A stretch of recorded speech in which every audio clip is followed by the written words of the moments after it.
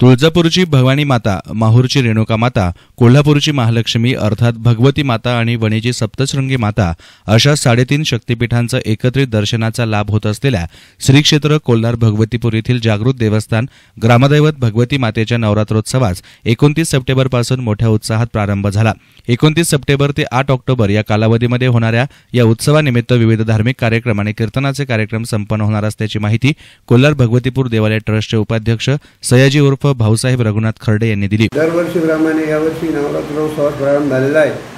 भाविक भक्तांची भाग्य आहे की त्यांना एकाच ठिकाणी साडेतीन शक्तिपीठाचं दर्शन हे होत असतं. नवरात्र महोत्सवात होते. नियमित त्यांच्याप्रमाणे. यावर्षी दरवर्षीप्रमाणे देवालय ट्रस्टने पार्किंग व्यवस्था सुरक्षा महिलांची सुरक्षा सी सी टी व्ही कॅमेरे घरी बसणाऱ्या महिलांसाठी मंडळ शौचालय व्यवस्था स्वच्छ पाणी पुरवठा यांची व्यवस्था करण्यात आली आहे. चालू वर्षी एका भाविकाच्या देणगीतून मंदिराचे मुख्य दरवाजावरील कमान कुटिंग सोनेरी कुटिंग करण्यात आलेली आहे व त्याचे विशेष वैशिष्ट्य आहे. ते एक वेगळं आकर्षण ठरलं आहे. त्याचप्रमाणे संपूर्ण गावातील मंदिरांचे ट्रस्टतर्फे देखभाल व इतर व्यवस्था करण्यात येते प्रामुख्याने महादेव मंदिराचे काम अंतिम टप्प्यात आहे. देवालय ट्रस्टच्या वतीने विनंती की नंदी पिंड व इतर म- देवतांच्या मूर्तीसाठी मदत करावी ही नम्र विनंती.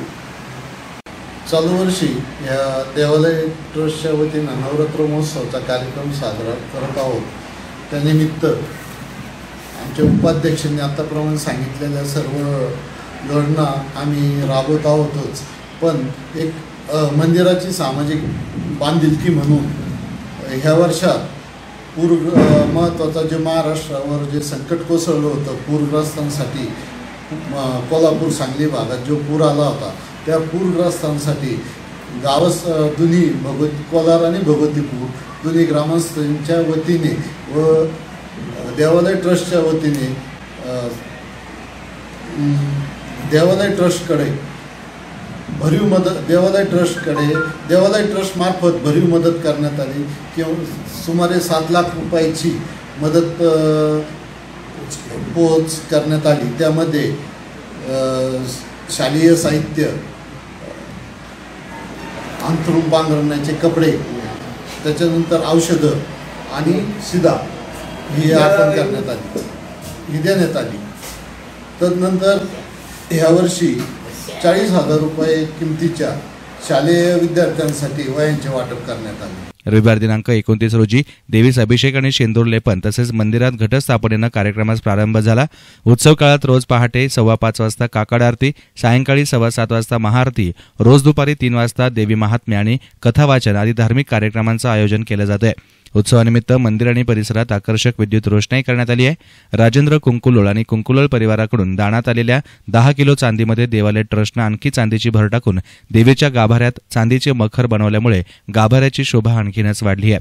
नवरात्र उत्सव समितीच्या वतीनं सोमवार दिनांक तीस सप्टेंबर ते सात ऑक्टोबर या कालावधीमध्ये सकाळी दहा ते बारा या कालावधीत भगवती मातेच्या प्रांगणात दयाधन महाराज डॉक्टर विकासानंद मिसाळ देवी भागवताचार्य कान्होपात्राताई शिवाजी महाराज देशमुख विवेक महाराज शास्त्री कांचनताई जगताप रामानंद गिरी महाराज यांच्या कीर्तनाचे कार्यक्रम संपन्न होणार आहेत. रविवार दिनांक सहा ऑक्टोबर रोजी सकाळी नऊ ते एक या वेळेत श्री जगदंबा माता यज्ञ होम हवन होणार असून डीयू खर्डे हे देवालय ट्रस्टचे प्रशासकीय अधिकारी म्हणून कार्यरत आहेत.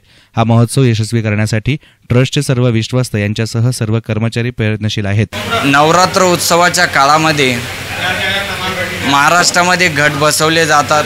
देवीचे भक्त आदिमाया आदिशक्तीची उपासना करतात. महाराष्ट्रामध्ये जे साडेतीन शक्तिपीठ आहेत देवी भक्त त्या ठिकाणी जाऊन देवीचं दर्शन घेतात. परंतु कोलार या ठिकाणी साडेतीन शक्तिपीठाचे एकत्रित दर्शन होत असल्याने देवी भक्त कोलार या ठिकाणी येऊन माता भगवतीच्या दर्शनाने धन्य होतात. बैठ news reporter Saiprasad Kumbhakarn S N media Kolhar.